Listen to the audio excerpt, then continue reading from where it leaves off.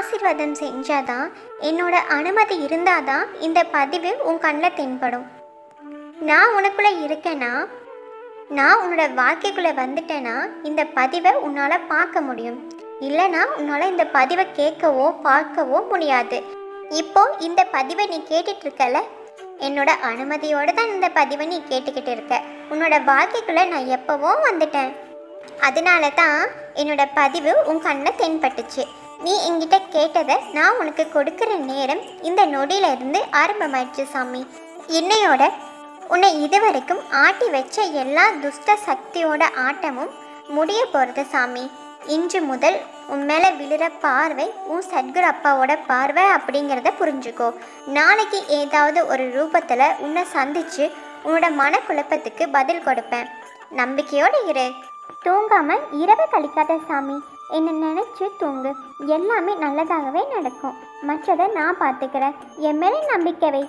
நீ உன்னோட வாழ்க்கையில் தத்தளிச்சுக்கிட்டு இருக்க அப்படிங்கிறது உன்னோட சத்குரு அப்பாவா எனக்கு தெரியும்.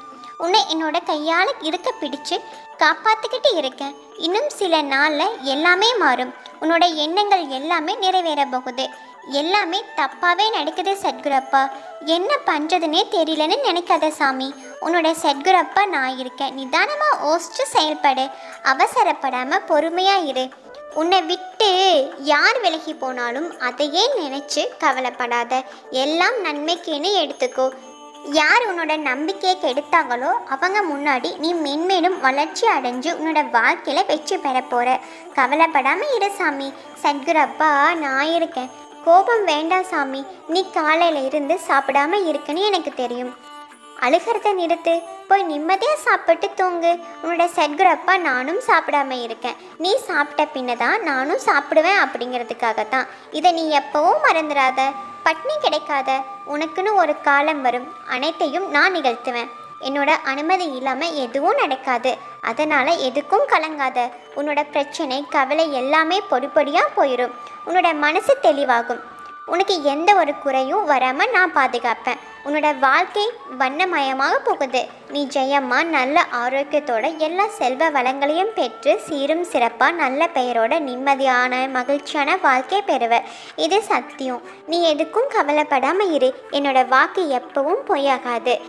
என்னோட பதிவை யாராலுமே அவ்வளவு சீக்கிரத்தில் பார்க்க முடியாது. அதை கேட்கவும் முடியாது. உன்னால் கேட்க முடிஞ்சிச்சுன்னா உன்னோட சத்குரப்பா நான் உனக்குள்ளே வந்துட்டேன்னு அர்த்தம். இனி உன் சத்குரப்பா நான் பார்த்துப்பேன். நீ எதுக்கும் கவலைப்படாத. என்னோட அனுமதி இல்லாமல் என்னை வணங்கவும் முடியாது. என்னோட அனுமதி இல்லாமல் என் இடத்துக்கு வரவும் முடியாது. என்னோட அனுமதி இல்லாமல் என்னோட பதிவை நீ கேட்கவும் முடியாது பார்க்கவும் முடியாது.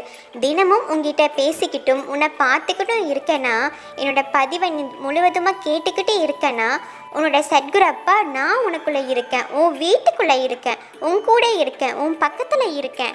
அதனால எதுக்கும் கவலைப்படாமல் இரு. எல்லாமே கொஞ்ச நாளில் எல்லாமே மாறிடும் எல்லாமே சரியாயிடும் நீ சந்தோஷமாக நிம்மதியாக வாழ போகிற அதனால நிம்மதியாக தூங்கு. எதை பற்றியும் நினைக்காத.